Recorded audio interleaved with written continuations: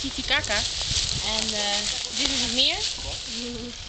En wij zitten nu ergens hier. Hier zitten de Oeros. Die wonen op uh, drijvende eilanden. Nou, Lake Titicaca ligt op een hoogte van 3810 meter boven zeeniveau. En het eiland is, of het meer is 165 kilometer lang en 65 kilometer breed. Nou, we zijn hier op bezoek en nou, ze hebben laten zien aan ons hoe het eiland er ongeveer uitziet. Dit is dus uh, een heel groot blok aarde wat ze vastzetten.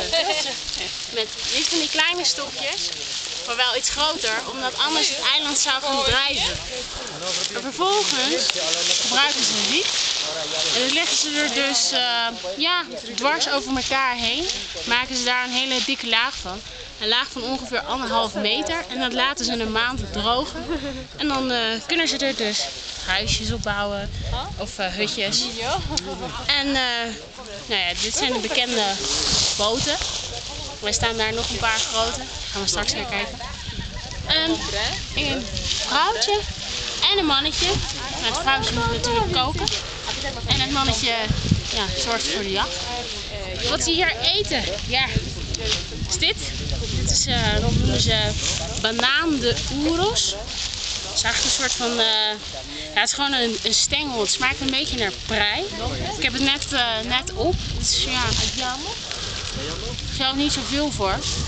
Het is een beetje, beetje ja, tussen een bleekselderij en een prei. Het is niet echt, nou, er zit niet echt veel smaak aan.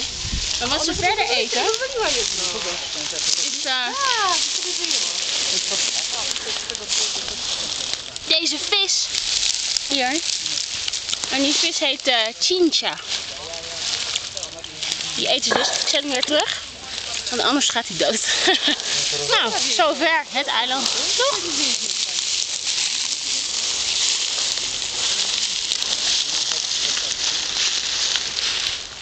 Un piccolo.